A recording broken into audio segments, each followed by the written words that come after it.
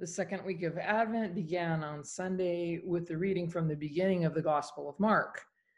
I'd like to read for you today the introduction to the Gospel of Mark from the message.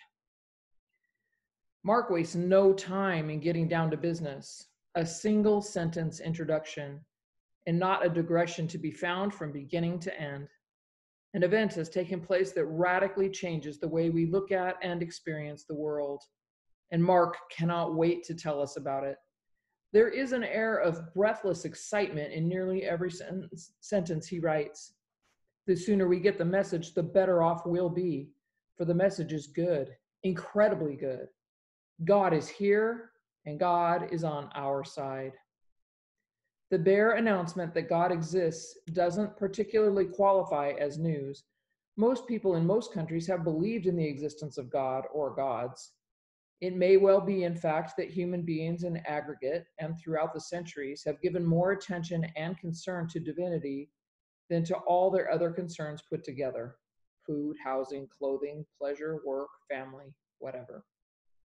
But that God is here right now and on our side, actively seeking to help us in the way we most need help, this qualifies as news. For, common as belief in God is, there is also an enormous amount of guesswork and gossip surrounding the subject, which results in runaway superstition, anxiety, and exploitation.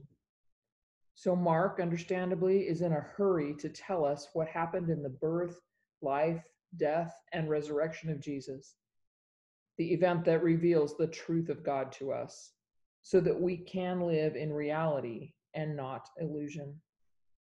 Mark doesn't want us to waste a moment of these precious lives of ours ignorant of this most practical of all matters that God is passionate to save us.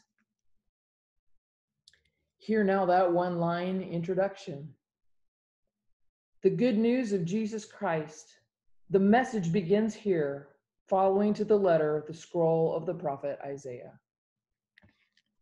Let us pray.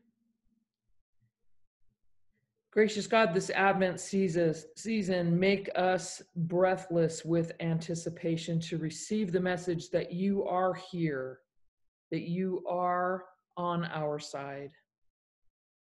Gather up into your arms all the concerns we have for this day, for this time, for ourselves, for our future.